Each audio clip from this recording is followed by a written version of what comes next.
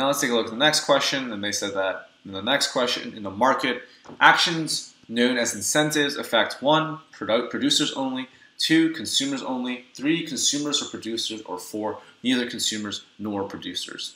And so it looks like for this question, we're talking about market incentives, basically saying what are incentives? And incentives are things that uh, motivate behavior or incentivize behavior in certain directions. And in the market, incentives can affect either producers or consumers, right?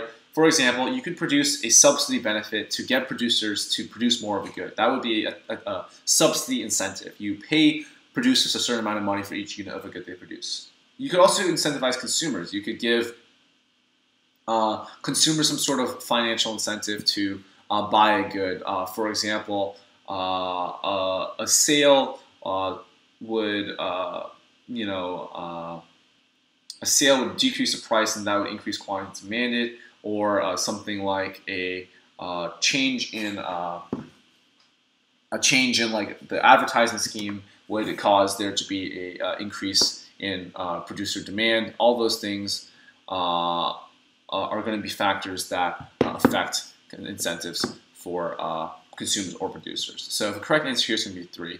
And so let's take a look at the previous student's answer, and they said 3 as well, and they said, an incentive acts as an intrinsic motivator for any action. A market works in a fashion where incentives are created for both producers and consumers, and all agents of a market are incentivized to involve themselves in market activities. Incentives that induce an individual to involve in trade can be financial, providing a material reward to the agent involved, or moral that reward in terms of a sense of self-esteem, admiration, or satisfaction. While a market mostly creates financial incentives, moral incentives generate from altruistic pursuits. Consumers have an incentive to engage in the market to their needs and desires, whereas producers have incentives to do the same to maximize their products.